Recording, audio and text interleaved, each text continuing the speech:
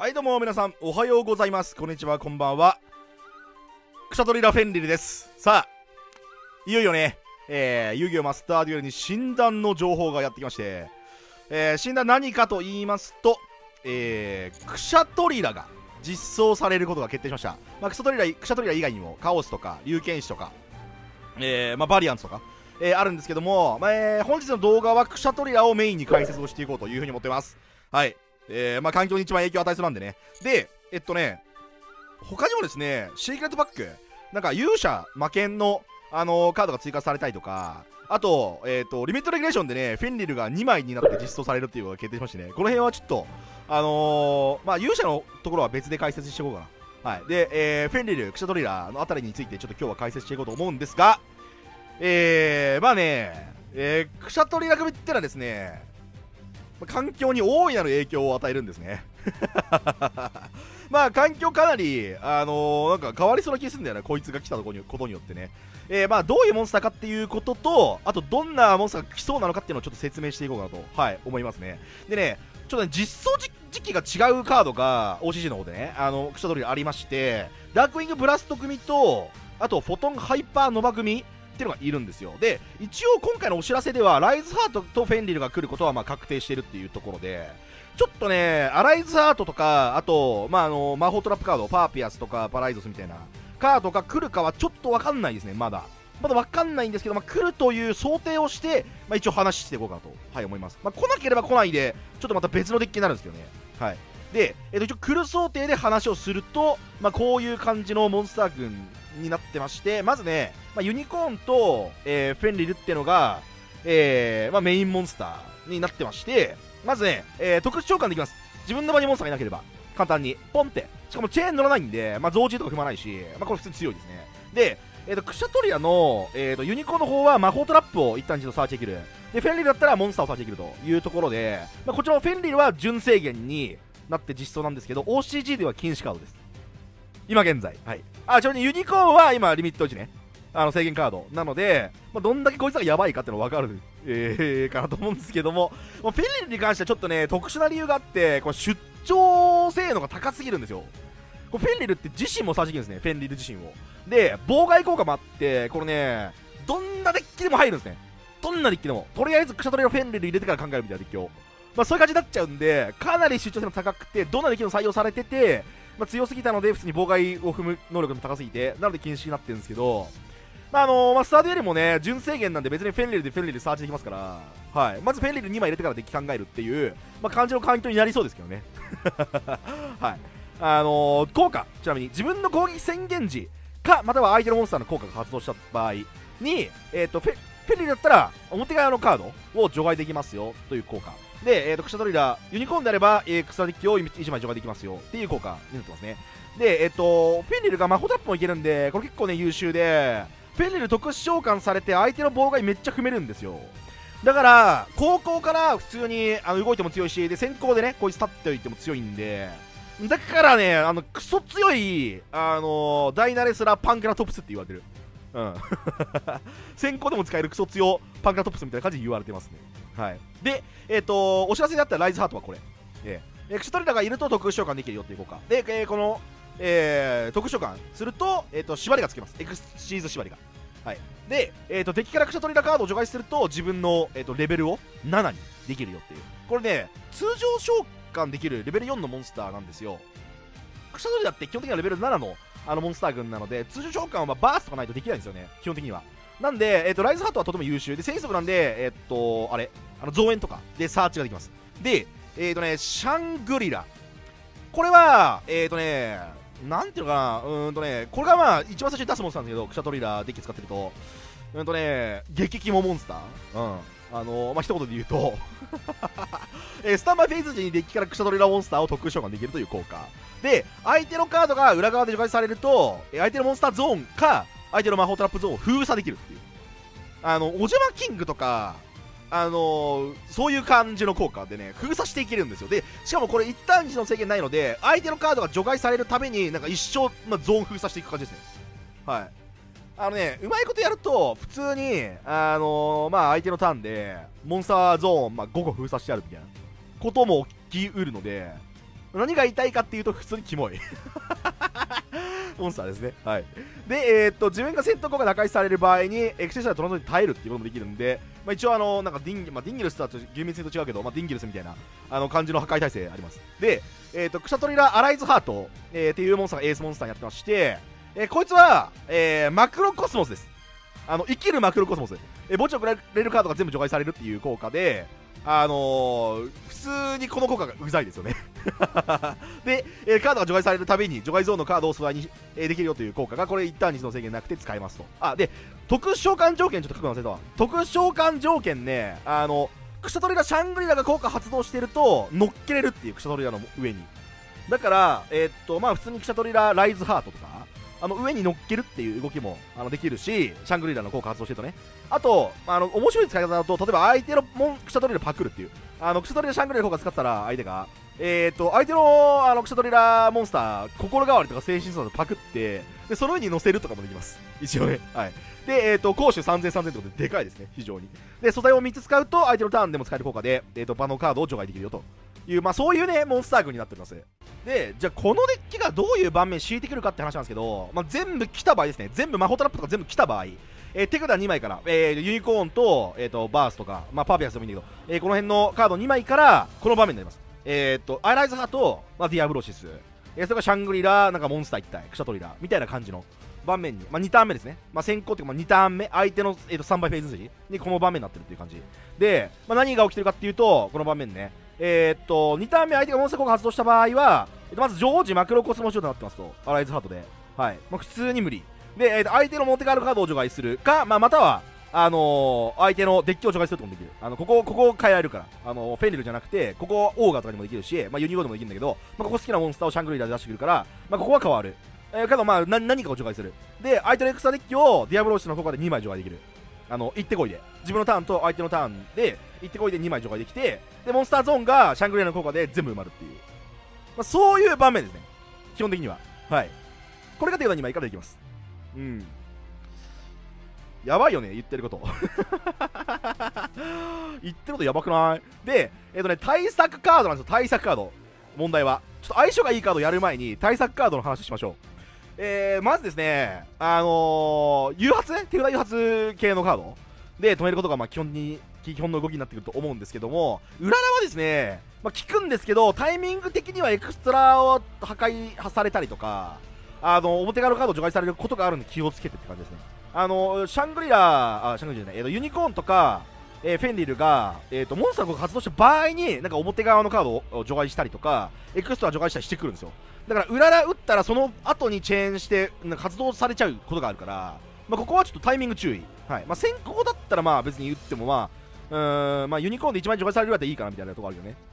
これねクシャトリアっていうのはあの、魔法トラップの無効とかモンスター効果の無効基本的には立たないんですね。あのー、まあ見ていただいて分かる通り、まあ、強そうな場面になってるんですけどもう単純に無効効果がありません。盤面に。だからあのー、ニビルとか無限紅葉とかエフェトベーラーとか普通に止められないんですよ。止められません。なので全部一応食らいます。だから例えばユニコーンに無限保養を打ったら止まることもあるだろうし、まあ、フェンリルに、えー、ベクトベーラー打ったら止まることもあるだろうし、まあ、ちょっと魔法トラップカードが多いと例えばパーピアスが、ま、全部実装されてパーピアスとバースもあるみたいな状況だと貫通されることは全然あると思う。無限保養とか、えー、ベーラーとかは。はい。なのでちょっとここの辺はね難しいところではあるんだけど、まあ、ユニコーンに打つのが一番いいかなと思うね。あの無限保養とかベフェクトベーラーは。はい。で、えー、と増殖するうち、まあ、一応チェーン乗らないからフェンリルとかユニコーンが。だから1枚普通にパッて特殊召喚されるとかはあるかもしれないけどその後この盤面を作るためにはさすがに特殊召喚いっぱいするんで。なんでまあ刺さんないことはないですね、まあ、普通にそのえー、フェンリルとあのユニコーン出てきてそれだけでエンドとかされちゃうから、まあ、刺さるかと言われると微妙なパターンはあるけどね。ゾージーは、うん、だからまあこれえこれ微妙。あの刺さるか刺さらないか微妙、まあ、この場面つける滝は刺さる。さすがに。でえっ、ー、と裏守備とモンスター効果を無効化するとき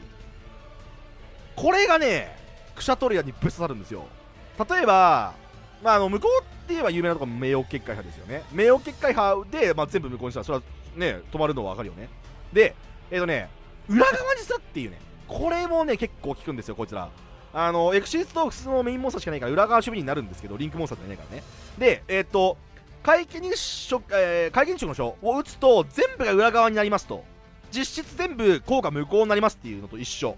はい、で、まあ、その他に全部サーチしちゃえばドローもされないからしかも速攻の方だしこれは。なので、まあ、月の書とかも書いてあるけど月の書よりも全然強いね。全部裏にできるから。はい。これはね結構メタ札としてはとても優秀なカードだと思いますね。あと闇の五風剣、まあ、これも一応高校でしか打てないけどさあのー、ポってあの永続魔法だからだからプッて打って全部裏にするっていうまあ日食と同じような感じだねだ全部裏にしてえー、埋めるっていうことができるから、まあ、これは結構強いと思いますね、この2枚。はいまあ、月の書も、まあ、似たような意味合いで強いけど、まあ、1枚よりは、まあ、3枚とか4枚裏にした方が強いね。で、えっ、ー、と、除外封じですね。はい。まあ、カオスサンタ、えー、ロンギヌス、それから大きな鉄壁みたいな。こういう、あのー、相手のカードを除外できないよ、くするよっていうカード。まあ、刺さるっちゃ刺さる時はあるけどね、ぶっちゃけ使ってる感じね、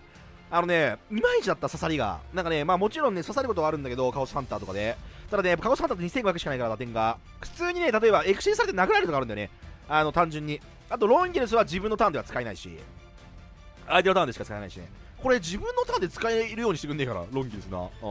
とか、あと、えー、っと、大木の鉄壁。えー、これも遅いしね。まあ、先行取れる前提だったら別にこんなカードじゃなくてもまあ、あのメタれるっちゃメタれる、メタれるっていうか強い盤面作れば止まってくれるから普通に。なんで、まあだから、まあ一応、あの、メタ札としては、まあ有効ではあるかもしれないけど、ぶっちゃけ使ってる感じは裏渋にした方が強かったかな、うん、と思いますね。だから裏渋にして埋めちゃえば、特殊とかもされないし、あの、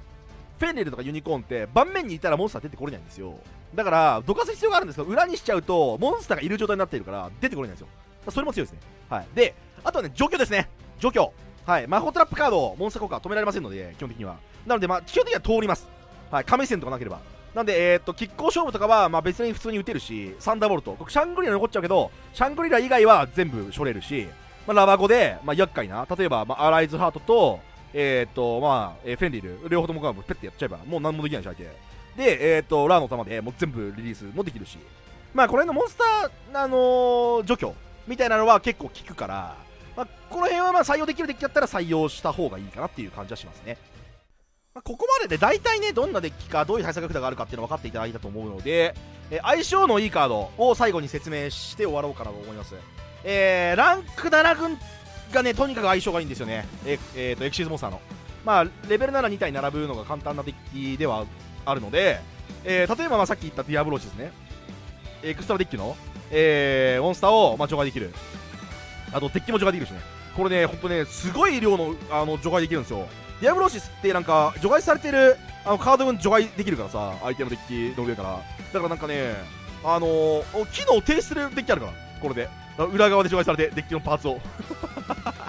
例えば楽園だったらなんかアルバスを全部除外されて、もう何もできないみたいな。楽園が打てませんみたいなこともありえるし、ティアラメンズもね、全部除外して、ああ、なんかシーレーン全部除外されたとかあるかもしれないしね。だからそういう、まあ、ティアラメンツ自体はもうアライズハートの段階で結構きついよ。えー、まあ、こういうね、ディアブロシスの、あの、有効活用できる効果がありますね。あと、ダークアームド、えー、ドラゴサック、この辺は除去カードですね。相手のカードを。まあ、あの、相手のカードを破壊するっていうことが、あの、メインギミックでは、基本的にはあんまないんですよ。はい。まあ、一応、フィールド魔法で破壊するくらい。なので、まあ、ドラゴサックとかダークアームなどで普通に労働的に破壊していくっていうのはできますね。で、あとビッグアイですね。相手の持つパクル。強いですね。あと、ギャラクシートワホーク。レベル7 2体並ぶと、まあ、あの激ヤバモンスターが出せるので、まあ、ここから、まあ、展開が伸ばせます。例えば、ラドン出して、ラドン展開に行くとか、あと、まあ、トマホークのあのトークンとか自分使って、アライバーサイバス出したりとか、モンスター6体分になるのね。なんで、まあ、こういう動きが一応できます。はい。あとは、まあ、あのレッドアイズクリア